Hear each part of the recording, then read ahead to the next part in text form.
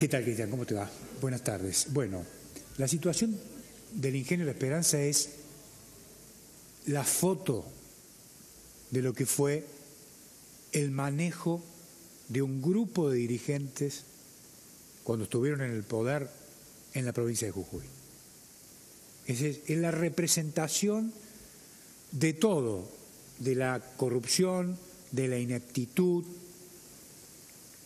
de una clase dirigente que tenía la responsabilidad de resolverlo hace 20 años el tema.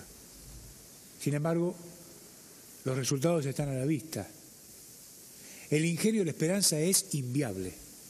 Esta es, me parece a mí, la síntesis. Ahora, en ese contexto, el gobierno tiene la responsabilidad de encontrar algunas soluciones. Ahora, este es un tema que demanda otro tipo de praxis. El gobierno debería haber eh, planteado la convocatoria a un comité de expertos para resolver este tema, créame, porque lo que estamos viendo hasta ahora es eh, solamente la improvisación.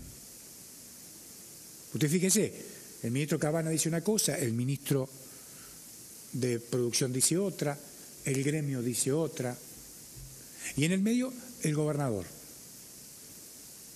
que siempre tiene que, daría como la sensación de que tiene que salir a pagar los incendios, él, desgastando hasta su propia figura a veces, pagando el costo político él. Por eso digo que este caso requiere, me parece a mí, de la participación o de la intervención, si usted quiere, de expertos en el tema porque es de una complejidad realmente muy grande. Y hasta ahora, por los resultados que estamos viendo, el gobierno no le encuentra la vuelta al tema. Si no es una cosa, es la otra. Y fíjese, también hay una cuestión cultural en, la problemática del ingenio de la esperanza. Los trabajadores, el Estado. El, todo, todo tiene que resolver el Estado. Ahora sí, claro, naturalmente, el Estado tiene que resolverlo. Pero la vida no es el Estado. ¿Sí?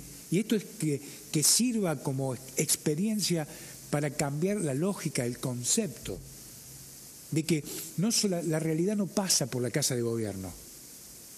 Vuelvo a reiterar, hoy el Estado tiene que resolver este tema porque ya viene de arrastre. Pero hay que cambiar esta lógica. Ahora, esta lógica se cambia cómo? Con reglas de juego claras, con una justicia que eh, sea independiente, digamos, con, con un escenario amigable para los negocios. Porque, digo, esto es producto de años de desidia, de corrupción, de inoperancia, y así no hay provincia que aguante. Este es el gran tema. Y además me parece a mí que el gobierno está en deuda con la sociedad sobre un tema, que no es un tema menor. ¿Dónde están los responsables de haber llevado, dónde están los responsables, con nombre y apellido, de haber llevado a esta empresa a la situación en la que está? Porque esto le cuesta 700 millones de pesos a los jujeños, a usted, entonces, ¿dónde están los responsables? Hay una comisión que supuestamente está investigando qué es lo que pasó. A ver, ¿cuáles son los resultados? Yo no conozco ninguno.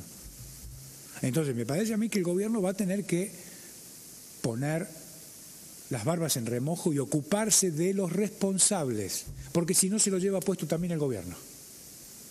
Este es un tema. ¿eh?